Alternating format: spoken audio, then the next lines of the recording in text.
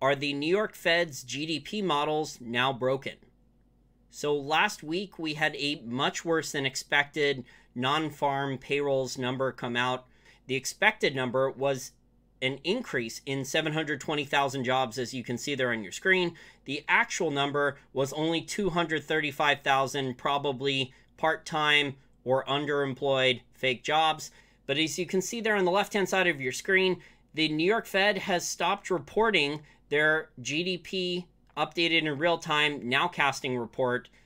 Stephanie Pomboy of the Macro Mavens letter, the famous global macro newsletter, has screenshots showing that the New York Fed has stopped updating its GDP model forecast in real time.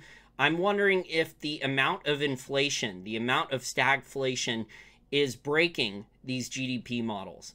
Also, the US Treasury now has less than $300 billion left in the US Treasury general account.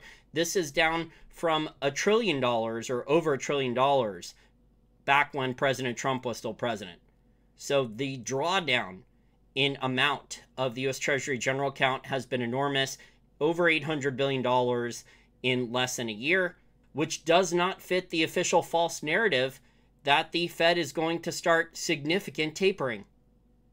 So if there still was enormous amounts, hundreds of billions more, or a trillion dollars more, for the US Treasury to draw down from, the Fed would not have to buy as many US Treasuries and mortgage backed securities I'll do another video in the next couple days showing that the amount of US Treasuries the Fed is buying is still increasing massively. There's some really crazy statistics that have come out in the last week or so about how many US Treasuries issued the Fed has had to buy. And these other central banks, like the Bank of England and others, are monetizing almost all of the debt. While MMT people and others and bond manager deflationistas claim that there's no inflation, the reality of the situation is that central banks all over the globe are basically monetizing all government debts, or a very large percentage, almost all, either all or almost all. The New York Fed has now suspended their GDP forecast models that they used to release publicly. Stephanie Pomboy from the Macro Mavens Global Macro newsletter posted screenshots there. And this all started once the non farm payrolls number, which came out last week, was much worse than expected, and the inflation numbers that have been coming out for weeks now are much higher than people expected. So we'll see what happens with the CPI or changing propaganda index and if they're able to knock the inflation numbers back down.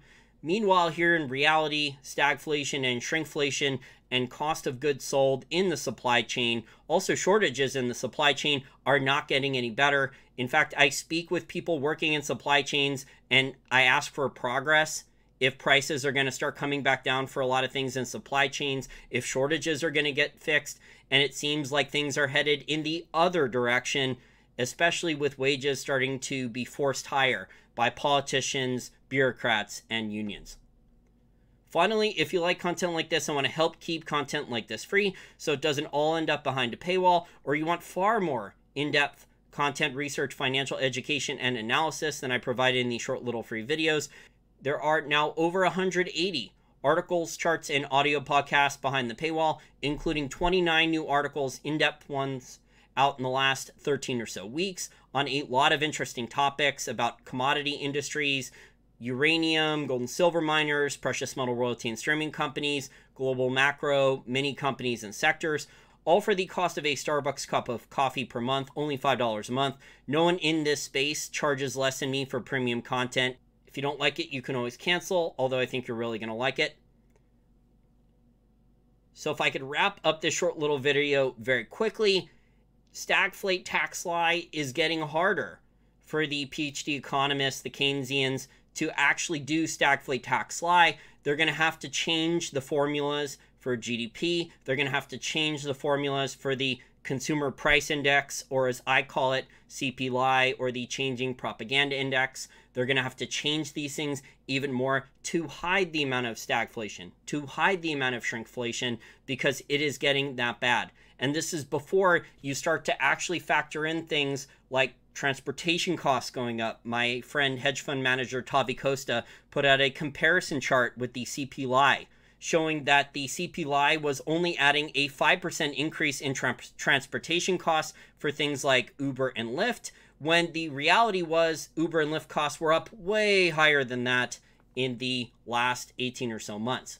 So the economic propaganda will get worse and worse. Meanwhile, Wall Street money managers and bond fund manager deflationistas that are gambling with other people's money and don't care if their bills for their grass fed beef steaks double or triple in price because they're making so much money gambling with other people's money on their bond fund trades and then claiming that there's no inflation we'll pretend that there's no inflation or that it doesn't matter or that it's only transitory.